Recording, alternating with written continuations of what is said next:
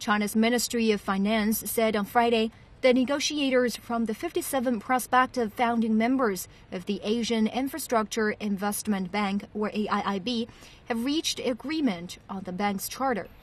Agreement on the charter followed a three day meeting in Singapore. The statement said representatives of prospective founding members will bring the charter back to their countries for legal adoption processes.